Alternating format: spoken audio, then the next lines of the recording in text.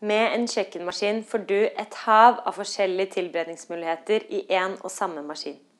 Det smarte ved denne modellen er at du både kan velge å tilberede matvarene her og etterfølgende tilberede samme maten i maskinen. På denne måten hjelper maskinen deg til å spare tid og gjøre matlagingen veldig overkommelig. Maskinen er utstyrt med én kokesone der du kan velge temperaturer mellom 30 til 180 grader.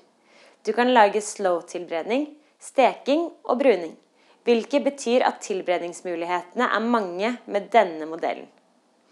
Og med funksjonen Keep warm kan du bevare en stabil lav temperatur, slik at maten forblir varm til den skal spises.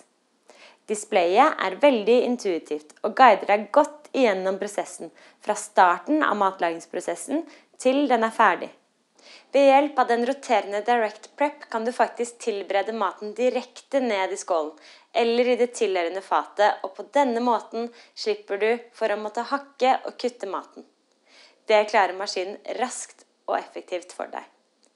Faktisk kan du rive ost og lage agurkskiver.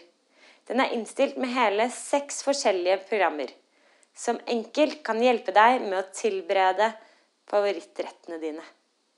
Du kan f.eks. lage sauser, sjømat og lage desserter og sertere.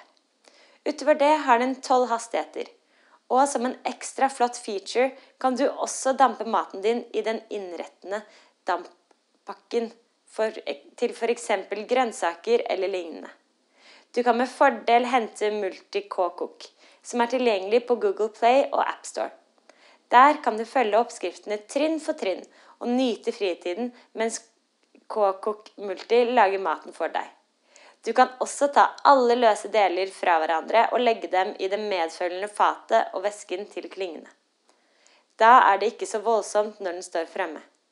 Dessuten kan alle løse deler vaskes i oppvaskmaskinen. Og er det noe du er i tvil om, så sitter vi naturligvis klare til å hjelpe deg over telefonen.